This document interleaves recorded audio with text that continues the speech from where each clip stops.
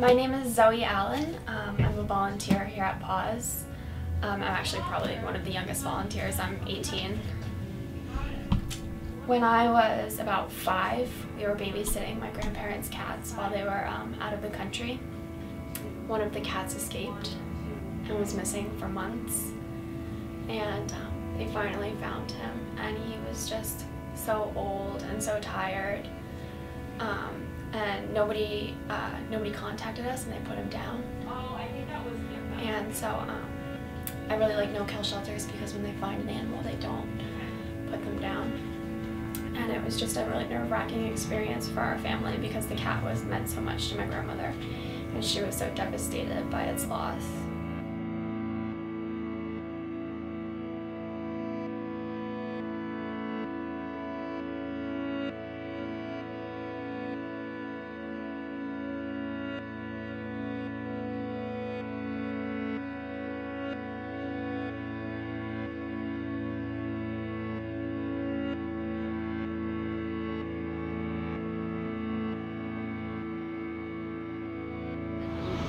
Majority of the animals were being killed in the shelter because they had nowhere to go. And so PAWS was formed as a way to, um, to address that problem.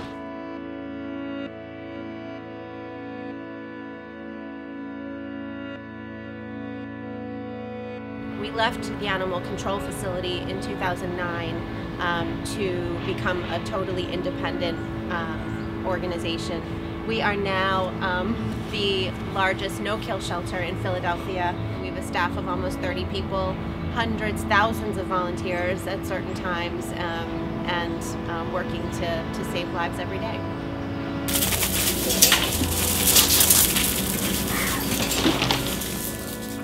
I'm Melissa Levy, Executive Director of PAWS.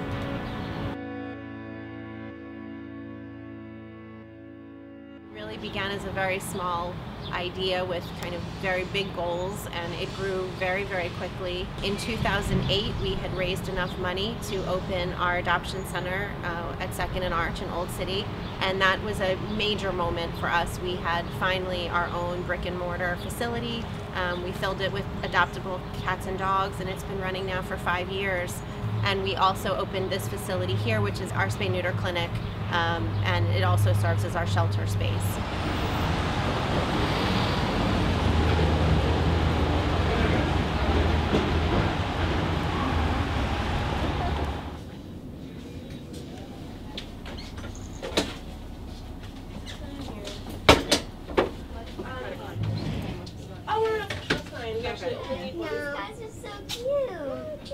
Adopt them?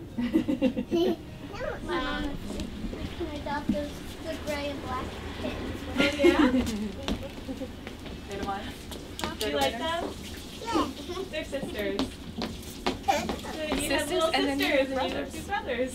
that would be great. Is that what you want to do? Yes. PAWS is the largest no-kill shelter in Philadelphia. And a lot of people come to us because of that. But within the organization, we don't see a big difference between no-kill and the shelters that are forced to euthanize due to space. Most shelters don't kill willy-nilly. Um, a lot of people have incorrect assumptions about what that means. Really, it's when we simply don't have a cage and there's a dog in front of us and we have to put it somewhere. So, you know, at a certain point, we're really all doing the same thing. Here, sometimes people will ask us to hold an animal for a couple of days until they're ready to adopt, and we say, no, we cannot do that because this cage, this animal is safe. We're no kill, nothing's gonna happen to Cecilia, but if we keep her cage full with her for another three days, that's one more animal at the city shelter that we can't save. And um, I think emotionally, we all see that and know how important it is to, you know, get them out into good homes, but get them out fast. It's adorable how he like wobbles. He has to like splay himself out just so he can stand.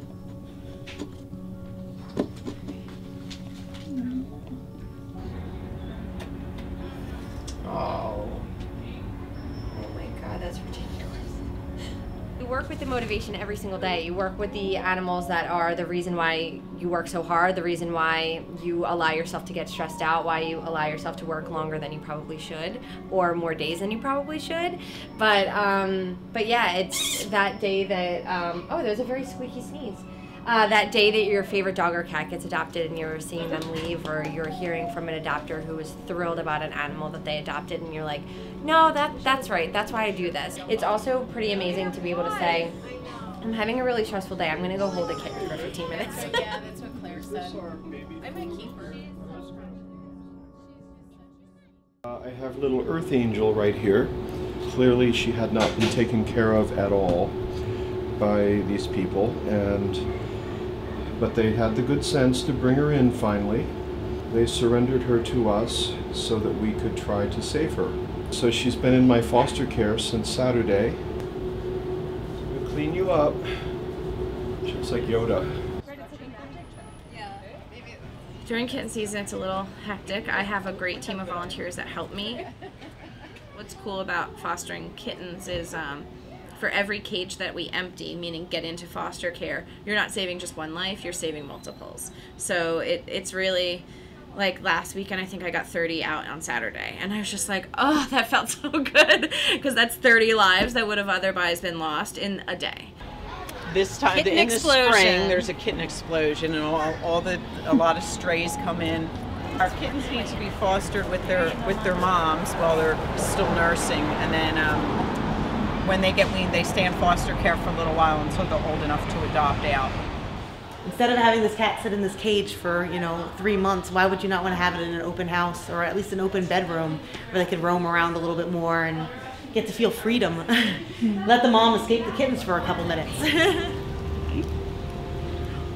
so here look right there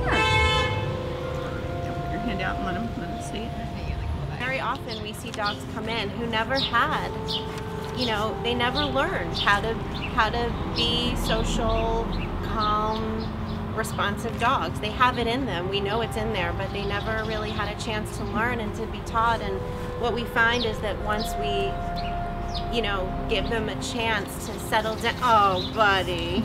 Once you know we give them a chance to get out of the shelter environment to de-stress to play and mm-hmm. learn and get some positive reinforcement then you know they turn into this. They're just big snuggly sweet innocent creatures. If I actually am going to animal control to pick the dogs or to meet the dogs or to bring them from there, and maybe even seeing them surrendered by their owners there, and then watching them thrive here, um, get their enrichment here, learning about them, and then sending them out to that good home and hearing the update. Like just that whole full circle process, seeing where they came from and where they're going is awesome. in this shelter in, in our work we fall in love every day you know every time we think we've met the greatest most wonderful dog or cat another one comes along that totally steals our heart so i mean i i have hundreds of favorites from over the years. I couldn't possibly single them out. But i think brixton is my my current in shelter favorite